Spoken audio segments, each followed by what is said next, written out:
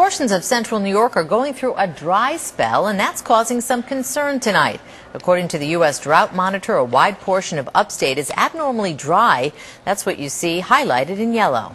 While portions of northern Oswego and Jefferson counties are in the grips of a moderate drought, and as News Channel 9's Keith Kobland reports tonight, it's getting attention from both farmers and boaters alike.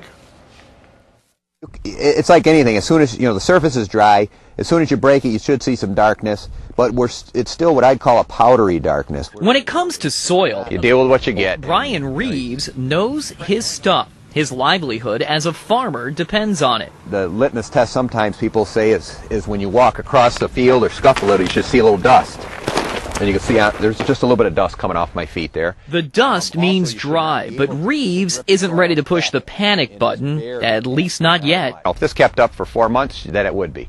But right now we had a, a, a record dry March, we've had a record dry April, and uh, so we are drier than normal. About four inches shy of where we normally are, and it's getting attention from those who farm the land and those who use the waterways, like the Oneida River. Standing out here along the river, it's hard to tell that water levels are lower, but they definitely are.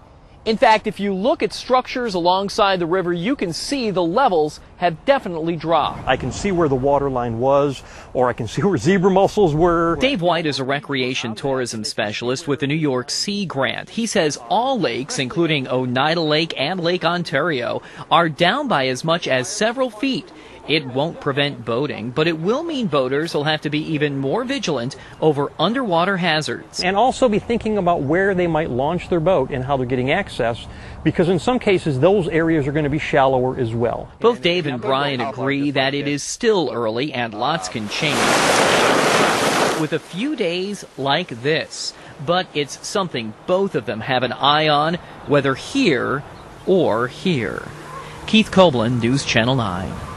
Now, while a lack of rain is causing concern, the mild weather over the past few weeks will have a side benefit. Brian Reeves tells us the local strawberry crops will be ready for picking later this month, which is a week earlier than normal.